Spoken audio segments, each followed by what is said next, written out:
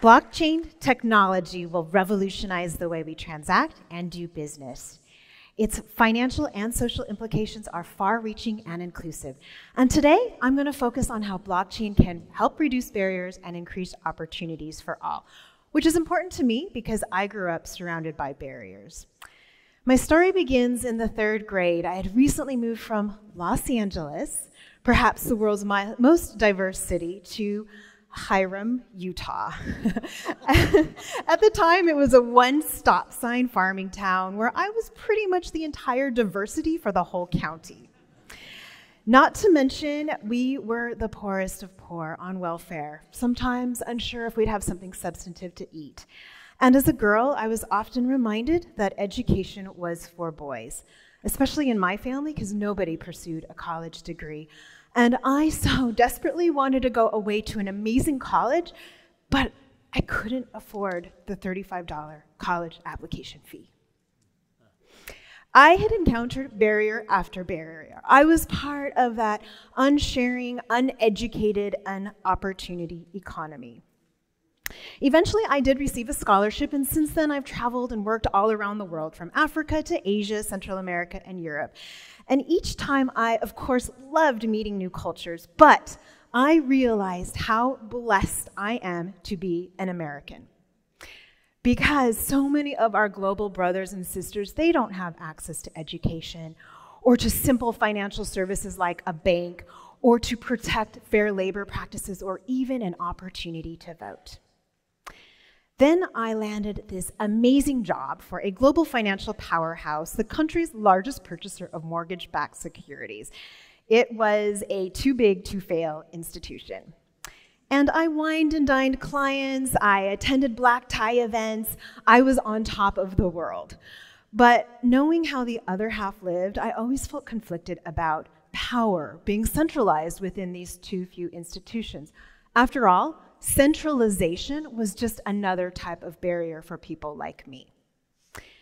Not to mention, I was also surprised about the data that was transferred between these institutions because they were very often outdated, incomplete, and just lacked transparency, which seemed seriously problematic for something like mortgage backed securities. And then came 2008, the crash. My concerns about transparency and centralization were actually deeply embedded in our financial framework. We saw 10 million families lose their jobs, savings, and homes, while the richest 1% became richer and the middle class shrank to its small size.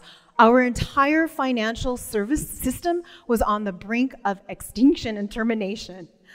And we, we had to bail out these large institutions in which we placed our trust to be custodians of our assets. These middlemen, they so painfully failed us.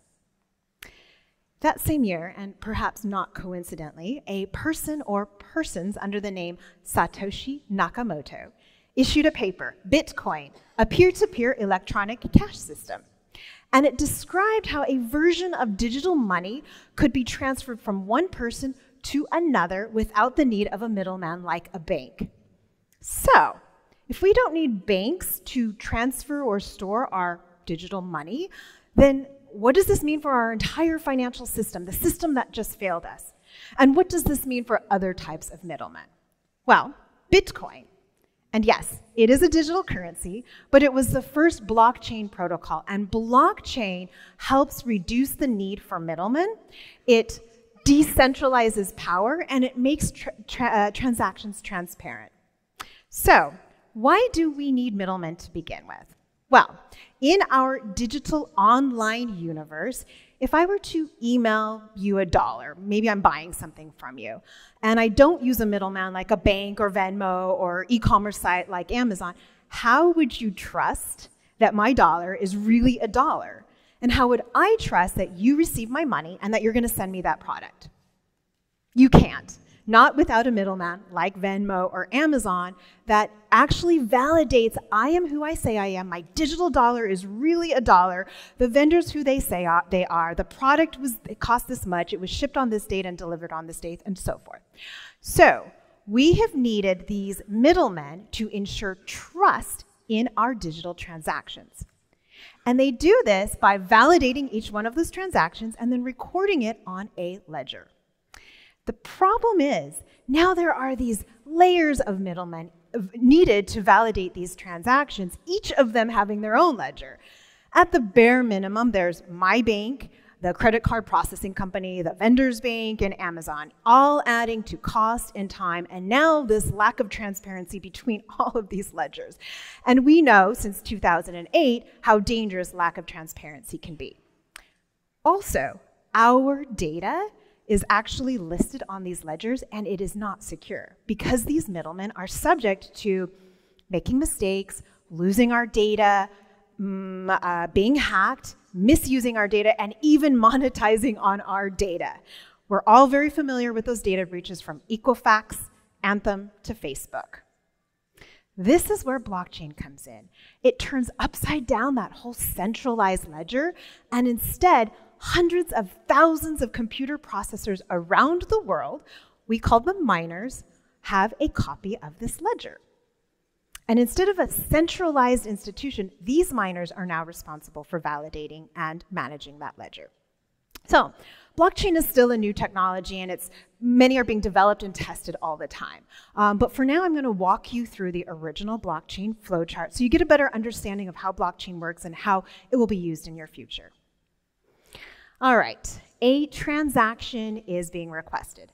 That request then is broadcast to all of those network miners. Remember, there are hundreds of thousands of them around the world.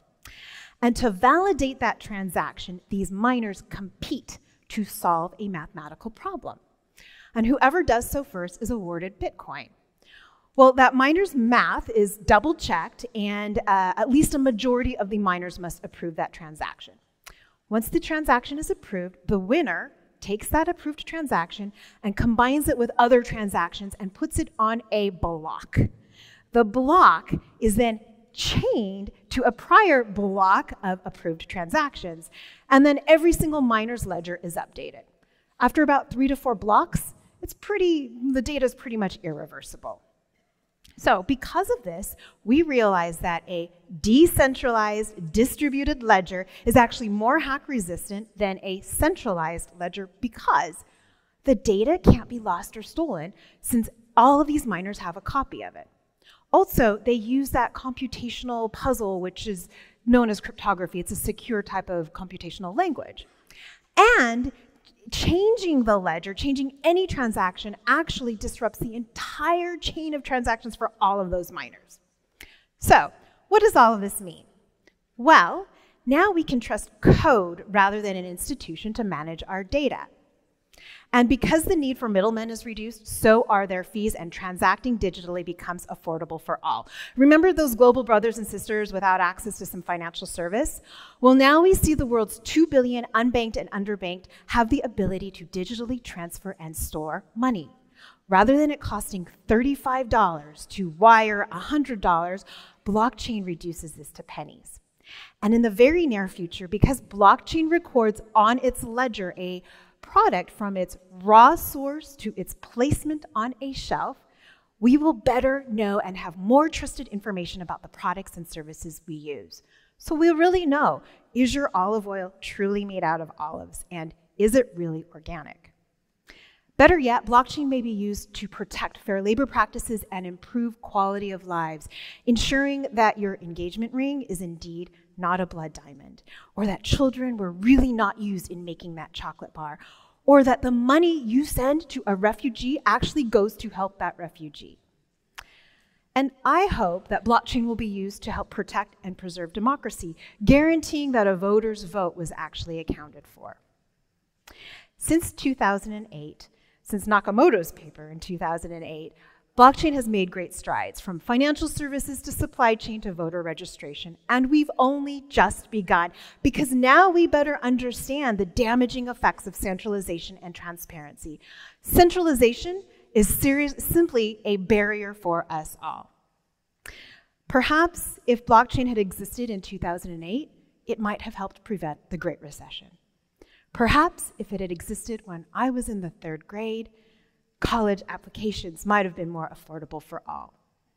What is certain is that blockchain is an amazing technological tool providing for a more fair, inclusive sharing economy, democratizing access to knowledge and wealth, and reducing those barriers and increasing opportunities for all. Thank you.